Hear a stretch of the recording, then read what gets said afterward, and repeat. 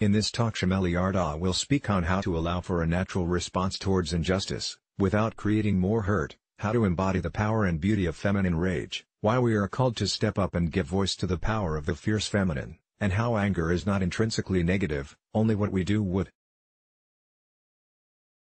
Chameli will also show how an ancient goddess archetype of the fierce aspects of the feminine are highly relevant and illuminating for women and girls today.